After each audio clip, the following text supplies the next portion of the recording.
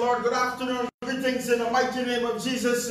It is a great joy and privilege once again, beloved and friends, to be here this Friday afternoon to minister the word of God. I trust the Lord everyone is in good health and happiness regardless of our situation in the world. As I always say, beloved and friends, Jesus said in his words, Lo, I am with you always.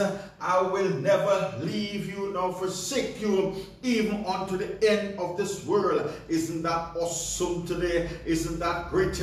Isn't that mighty? Isn't that majestic that God himself promised to be with us in every situation, in every circumstances, in every trial, in every testing, in every storm, in every decision making. He said in his words, a thousand shall fall at thy side and ten thousand at thy right hand, but no evil shall befall thee, and no plague shall come nigh thy dwelling. Welcome this afternoon. Let's give him a big hand.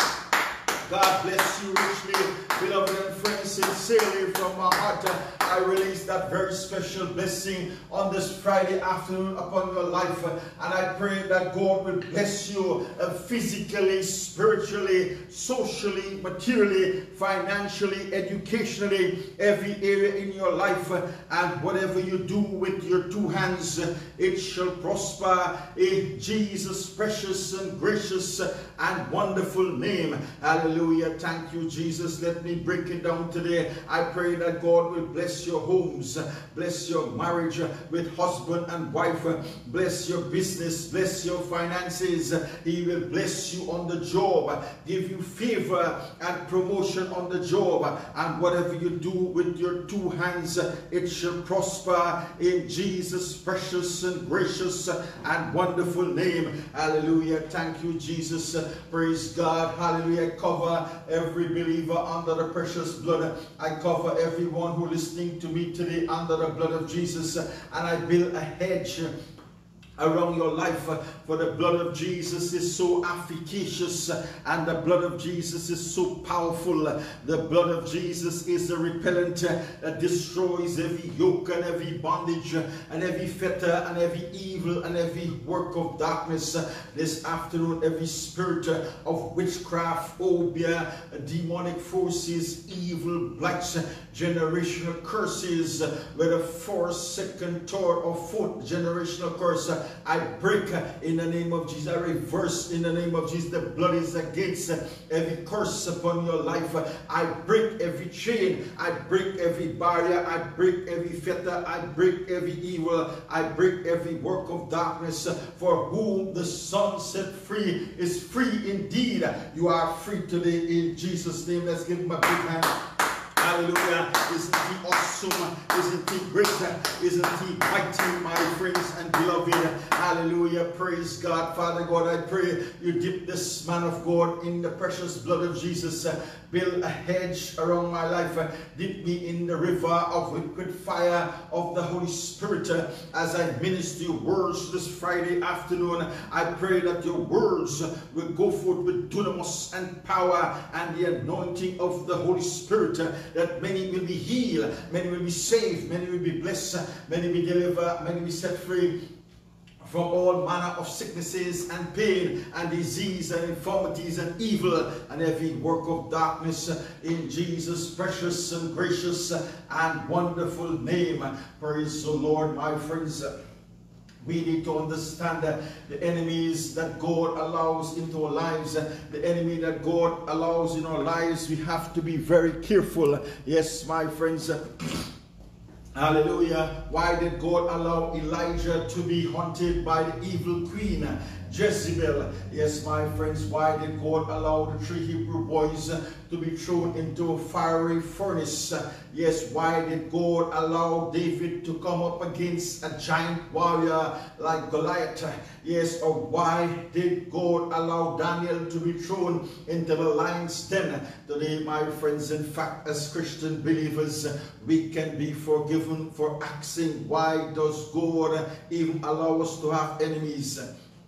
Well, to tackle this question this afternoon, let's briefly look into the relationship between David and Saul. Then we look at Nehemiah, Elijah, and Jezebel. Yes, my friends, and Joseph, not forgetting Joseph, King David, typically any rivalry that we could see today in movies, TV shows, books and comics, yes, my friends, all have two main characters that hate each other, although all the rivalry stories today pale in comparison to the rivalry of King Saul and David there was such a brutal tension between them. However, my friends, there is a major factor that makes this rivalry different. My friends, with King Saul and David, the strife is completely, completely one-sided throughout the story. Saul is absolutely obsessed with killing David in cold blood. Yes, David wishes to avoid this conflict, but just cannot seems to get Saul off his back. Yes, my friends, David wishes to be at peace with Saul, but it is not able, not able to obtain peace.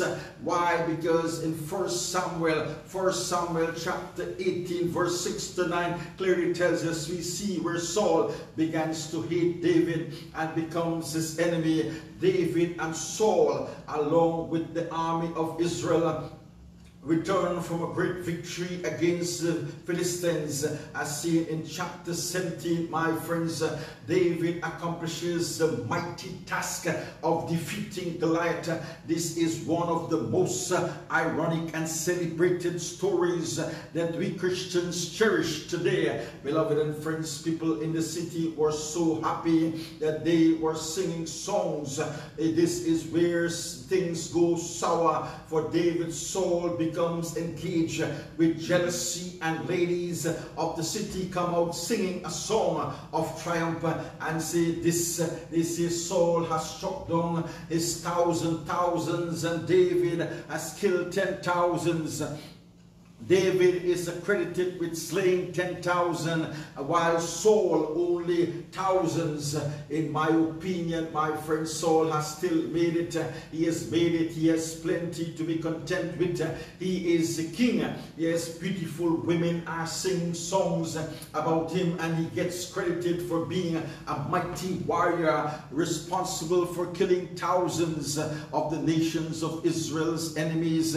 Not bad at all. Not bad at all. And yet verses 9 tells us uh, from that moment forward, yes, my friends, uh, Saul, yes, Saul seek the David. The following event uh, consists of chapters and chapters of Saul doing everything in his power to eliminate David. My friends, we see in many Psalms come from this time period where David is constantly running on fumes, just trying to escape death at the hands of the king of King Saul. My friends, God may allow our enemies to have the upper hand at times. Yes, but ultimately, ultimately our lives is still in his hands, in the hands of God. David prays, runs and hides. Yes, my friends, but what else does he do? David, my friends, although already secretly anointed king, he was anointed king, although he is well within the rights of defending himself, chooses to wait wait on God, we see that God eventually does step in into rescue David from Saul and ends up using David to accomplish mighty things. Yes, David becomes one of the most important characteristics in, in the Bible. My friends, hallelujah. Also, Nehemiah, there is a worse time to have personal enemies than when you are in the midst of hard project that must be completed. Yes, my friends, no, not really. Hallelujah. These kinds of battle makes accomplishing your task so much harder. Yes, this was a situation, my friends, Nehemiah found himself to make matters worse. Yes, he had many people relying on him and looking to him for direction. Nehemiah was a leader and he had a mission which was to rebuild the walls of Jerusalem but he had enemies. He had enemies. He had uh, opposition. His enemies used various spearlow in their attempts to disrupt Nehemiah's work.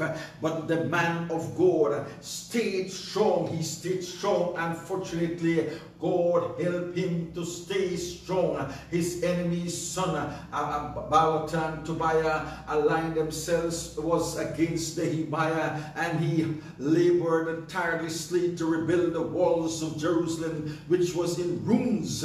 My friends, however, God was right there with him the whole time. Hallelujah. We must always remember that enemies typically come at the most vulnerable times.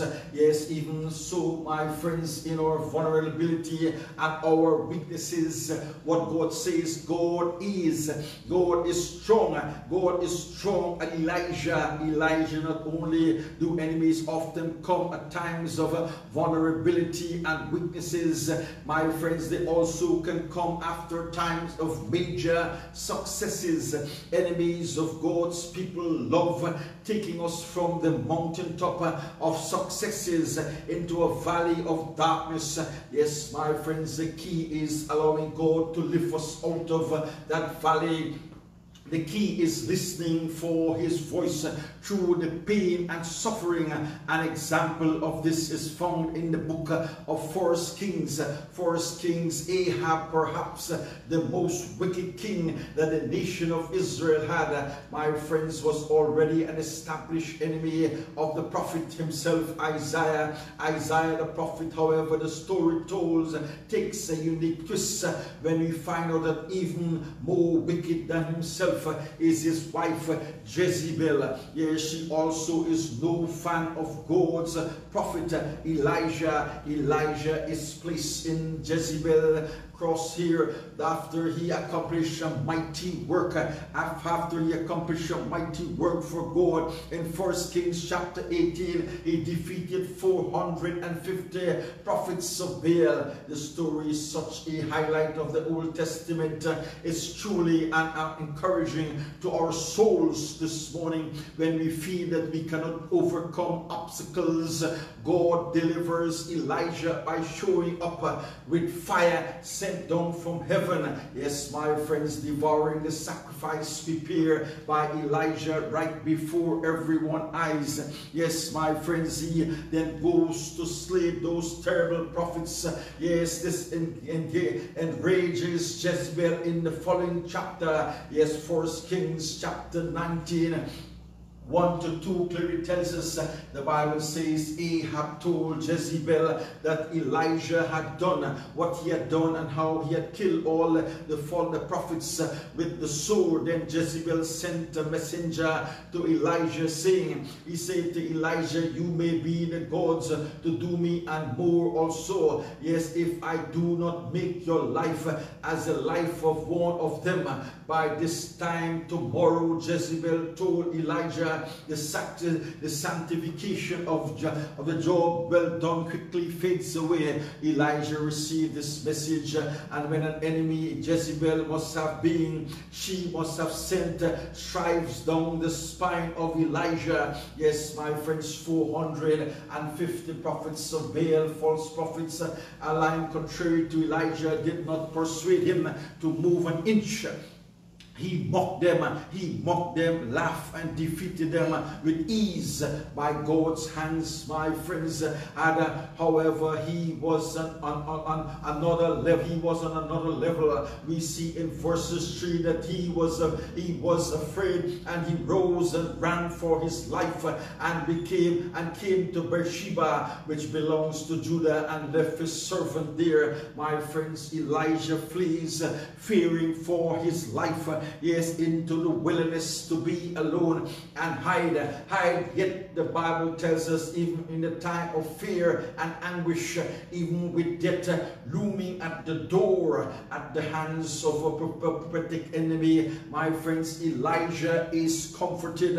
He is comforted by Almighty God. An angel is, angel is, sent to provide him with food and water and encourage God speaks to Elijah and lets him know that his mission is not over and not, uh, not to give up, my friends.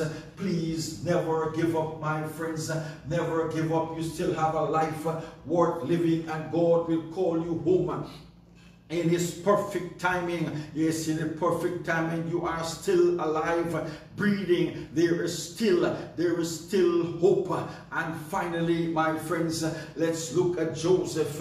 Joseph, this is another fascinating story of how God allows enemies in the life of his people. Yes, we already see tension rising with Joseph and his brothers, but there, there the trouble really begins, my friends, is in Genesis chapter 37, where his brothers sell him into slavery. Yes, considering the fact that their first idea was to kill him I suppose being sold wasn't so bad, although his story ends in God's guiding, guiding Joseph to excel to the top, second only to Pharaoh of Egypt.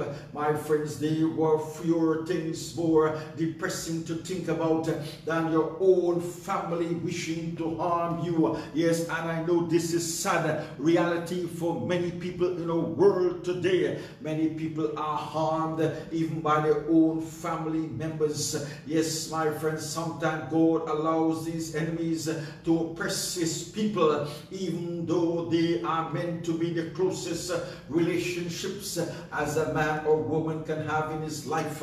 I will submit to you that even in these dark, dark realities, God can use it for good. Yes, my friends, God was with Joseph every step of the way and God is with us every step of the way as well. He was able to use a horrible situation Joseph was in and accomplish amazing things. Yes, for his people through Joseph.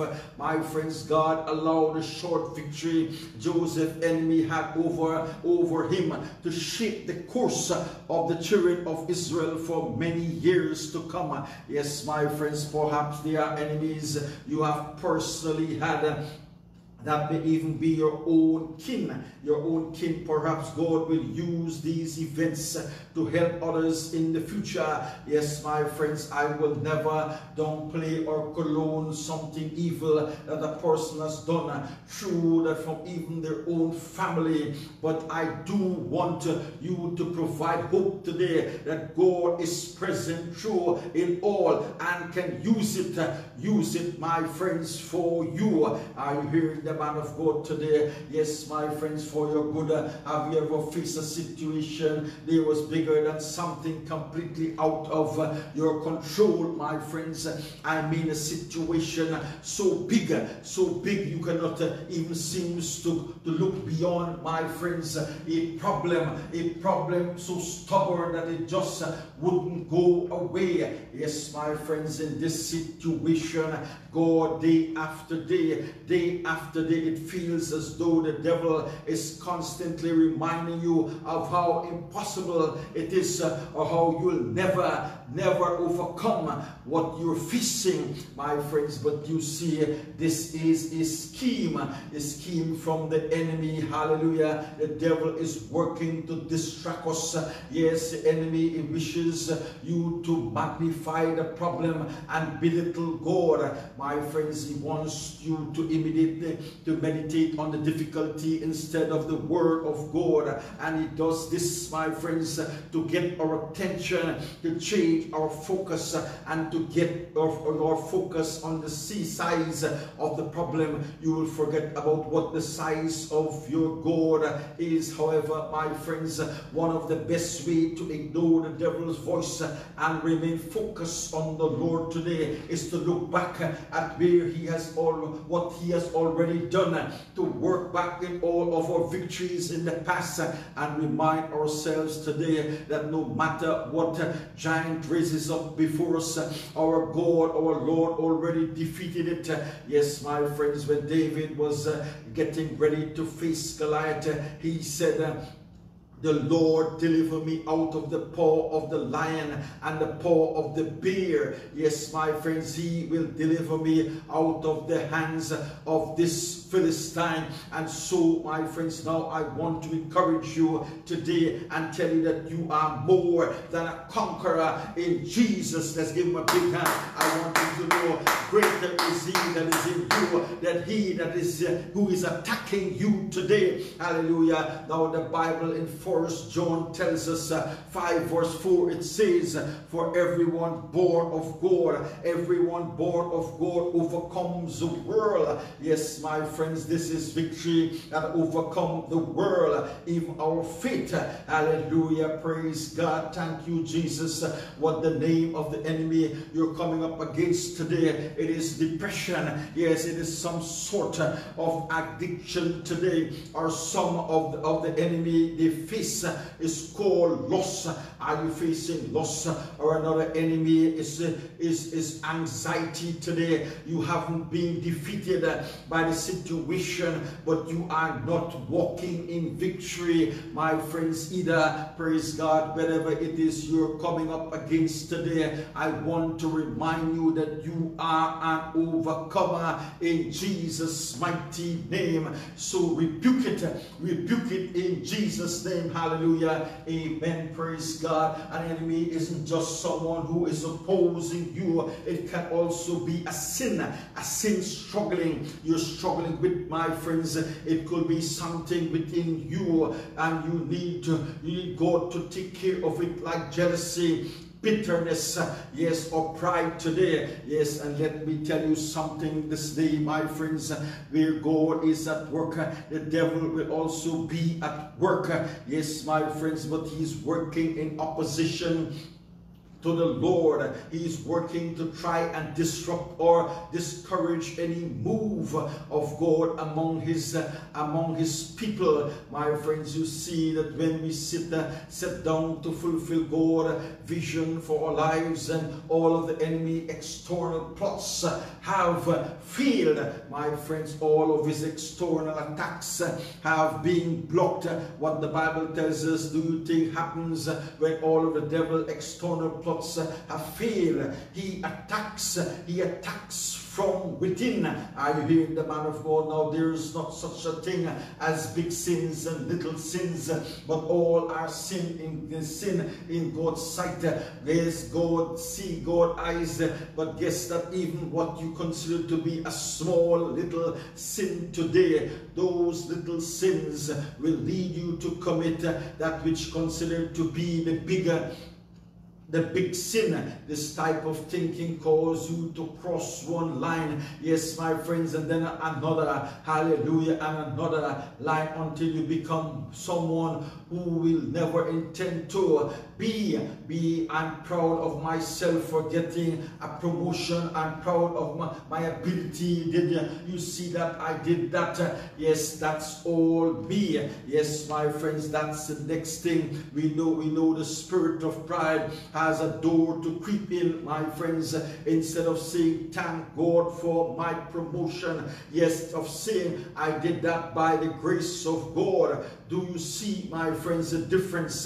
The difference the devil will try and plant a seed within you. Yes, my friends, it can't affect you physically. Yes, that's what I'm talking about when I say name your enemy today. Take a good look, honestly look at yourself today. What is the devil trying to use to distract you from an effective, effective Christian life? What's he using to discourage you? Doubtfully thought, doubtful thoughts, thoughts of insecurity, yes, or inadequacy. Name your enemy today and rebuke, rebuke it, rebuke it, and we all have the one, the one, my friends, one. There is all, they're so holy, holy, so saved that have no internal private thing. They're dealing with my friends. The Bible says, when the Bible says, those who belongs to Christ, Jesus or the Lord have crucified the flesh with its passions and desires. That verse is all about identifying that sin within, within that ungodly desire, that unhealthy, unhealthy passion. Yes, and then saying no to no to it my friends get to the point where we say my love for god is greater greater than my love for anything else in this world. That's how you crucify your flesh. My friends, listen to the man of God. So if your enemy is, is bitterness, it has to go. If it is unforgiveness, that has to go today in the name of Jesus. If it's low esteem, stand for it. No more, no more. I encourage you to do these three things today if you are to overcome the enemy, my friends, firstly, take your eyes off the problem, hallelujah, and focus. Focus your eyes on God's promises. Magnify God today instead, instead, my friends, of your problem. Secondly, today, change your words from talking about defeat and began to speak God's word, speak God's words over every situation, to speak God's promises over your situation. And finally today, call on the power, the power of his name, my friends, of Jesus Christ. Hallelujah. Praise God. Offers, offer our part to, to have faith. Have faith that God means what he says and he says what, what he means is he say all things, all things will work together for the good. Then part of it is not acts how, but it's simply to trust Trust that God honors his word. God honors his word. The word of God tells me that many are the afflictions of the righteous, but the Lord, the Lord delivers him out of them all. Then part is to hold on by faith, hold on by faith and to his promise with eyes of faith. Yes, you can see the hand of God, the goodness of God in every situation. Yes, my friends, regardless of how painful, painful fit, it can begin to consider if you're being placed in that set of circumstances for a specific reason, my friends, or a specific purpose. Yes, a purpose such as on unlocking a stronger desire for prayer in your life, a purpose such as awakening a hunger, a hunger for righteousness and holiness like never before in your life. Yes, my friends, or perhaps the purpose of tests today is to expose the gift of the calling. The gift of the calling lying lays dormant inside of you too often because we're focusing on the negative. We don't see the positive in that situation, my friend, and we don't see what God is trying to do. My friends, could it be that the reason for this uh, today difficulty is God wants you to reveal to you who he really is. Yes, my friends, perhaps uh, this is a test where God wants to demonstrate himself to Jehovah Jireh, your provider, or perhaps he wants to demonstrate his strength and kindness to you. Praise the Lord. And whatever the purpose of this trial that you are in today, I encourage you to do your part do your part and part is to hold on in faith and look and look my friends look look to Jesus look to Jesus the author and finisher of our faith.